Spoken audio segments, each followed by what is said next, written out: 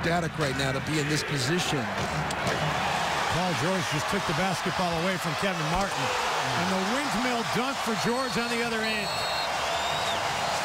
George Hill and Paul George trying to get their team rallied here. Well, Rick Adelman's happiness didn't last very No. long, did it? Paul George, the breakaway dunk, and the Pacers on top by three here in the third. Paul George, a relatively quiet night, but starting to come alive and making Yeah. things happen in the final moments there before the break with the steal and the dunk. Yeah.